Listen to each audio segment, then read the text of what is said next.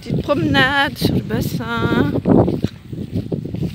avec Jet, Bernard et Guillaume.